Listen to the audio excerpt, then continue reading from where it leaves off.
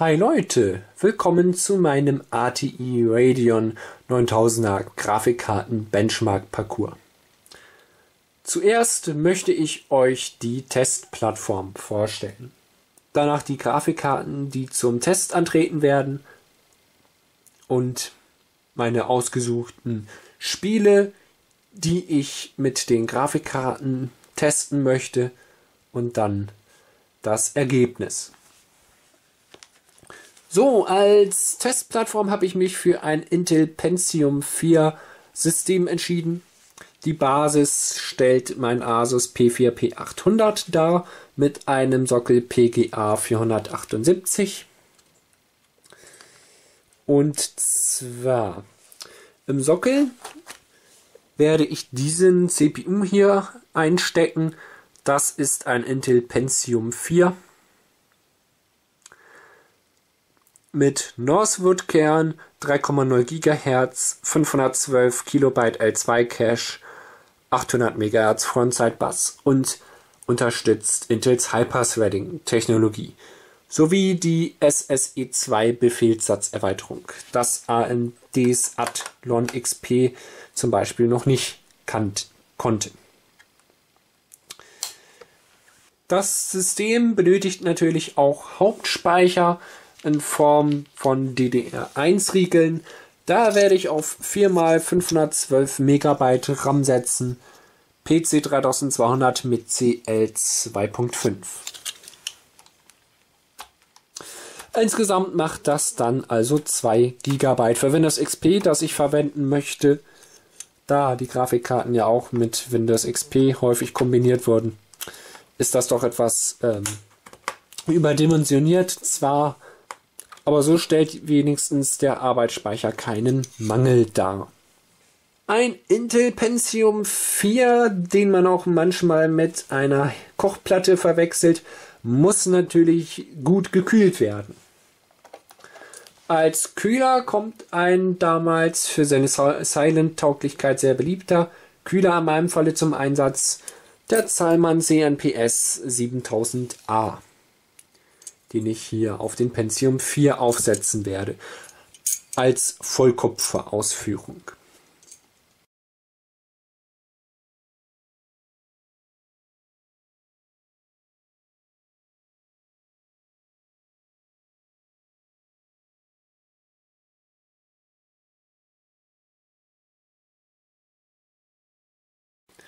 Nur noch ganz kurz zu den Laufwerken. Windows XP das ich zum Testen der Grafikkarten verwenden möchte, werde ich hier auf eine 60 GB fassende Seagate Festplatte installieren, die einen IDE-Anschluss aufweist. Zur Vollständigkeit halber gibt es noch ein Floppy-Laufwerk, wenn man es mal brauchen sollte. Und damit ich Windows XP auch von der CD installieren kann, ein DVD-ROM-Laufwerk. Ebenfalls hier mit IDE-Anschluss.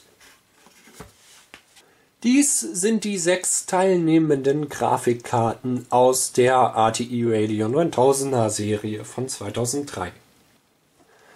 Dies wäre eine Asus Radeon 9800 XT, die schnellste Grafikkarte aus der 9000er Serie von ATI.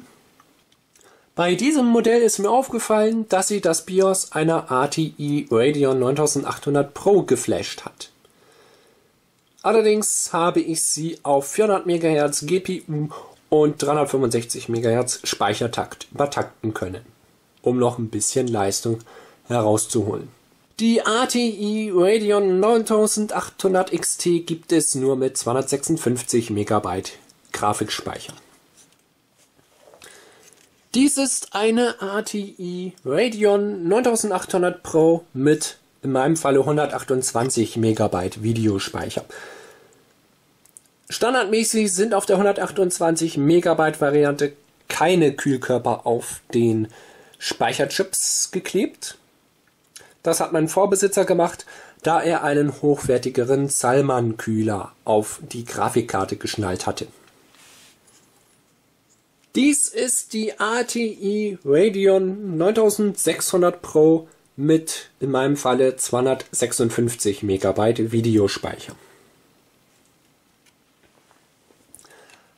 Auch eine ATI Radeon 9250 von MSI wird zum Test antreten, in meinem Falle mit 256 MB Videospeicher.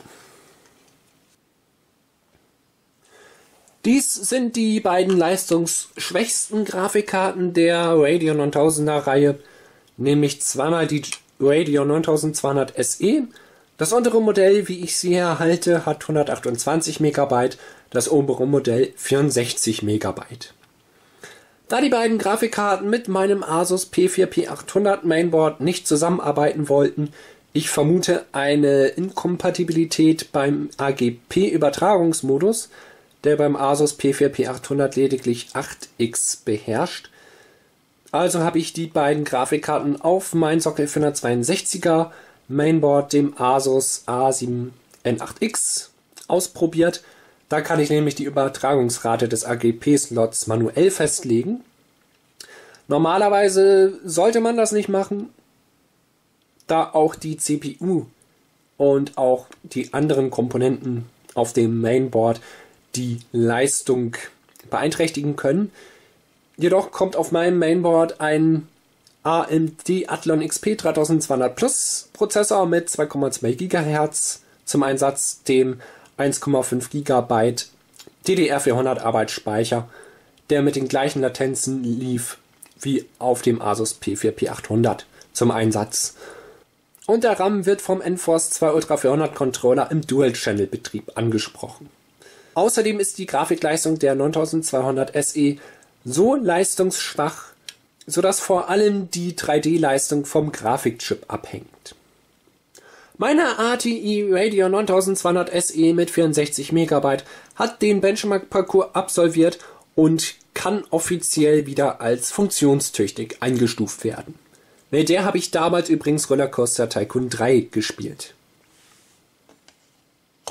Das war genau diese Grafikkarte gewesen.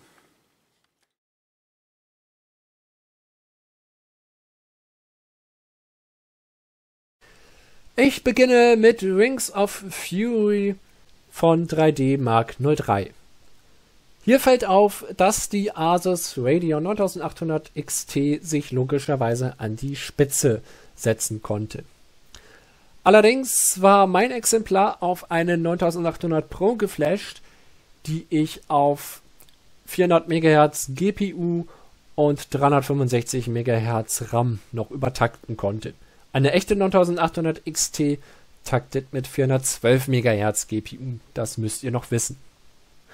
Bei meiner ATI Radio 9800 Pro sitzt ebenfalls ein R360 unterm Kühler. Und was auch fällt ist, in Wings of Fury ist die 9800 Pro der 9800 XT dicht auf den Fersen. Die 9800 XT habe ich übrigens nicht mit 800 x 600er Auflösung getestet. Die Radeon 9600 Pro ordnet sich so im Mittelfeld ein. Und die RV280er basierenden Grafikkarten, die Radeon 9250 und die beiden 9200 SE, bilden natürlich das Schlusslicht. Wobei man mit der Radeon 9250 PC-Spiele vom Schlage des Rings of Fury Tests noch gut spielen kann. Selbst in 1280 x 1024 waren noch über 50 Frames in der Sekunde drin. Allerdings habe ich ohne Zusatzoptionen wie zum Beispiel Kantenglättung getestet. Battle of Proxicon stellt da schon deutlich höhere Ansprüche an die Grafikkarte. Erst mit einer Oberklasse-Grafikkarte wie eine Radeon 9800 Pro oder XT lassen sich PC-Spiele der Leistungsklasse von Battle of Proxicon gut spielen. Bei der 9600 Pro muss man bereits die Auflösung reduzieren. Erst die kleine 800 x 600er Auflösung garantiert Spielspaß. Und die RV280er Grafikkarten sind hier deutlich abgeschlagen. Das ist dann nur eine Dia-Show. Die Radeon 9200 SE mit 128 MB konnte etwas schneller noch rechnen als die 9200 SE mit 64 MB. Das liegt nicht nur an dem doppelt so großen Arbeitsspeicher, sondern auch an der höheren RAM-Taktrate von 200 MHz statt 150 MHz für die 9200 SE 128 MB. Die 9250 basiert ebenfalls auf den RV280, hat im Vergleich zur 9200 SE mit 128 MB wieder verdoppelten Arbeitsspeicher. Außerdem ist die Bandbreite hier auf 128 Bit verdoppelt worden. Und der Grafikprozessor taktet 39 MHz schneller. In Trolls Lair haben wir ein relativ ähnliches Bild wie Battle of Proxicon. Die RV280er basierenden Grafikchips sind hier für ungeeignet zum Spielen. Die RV350, also die 9600 Pro, eignet sich erst in niedrigeren Auflösungen zum Spielen. Und erst die R350 und die R360, also die 9800 Pro und die 9800 XT, eignen sich um PC-Spiele des Typs Twirls Lair flüssig spielen zu können.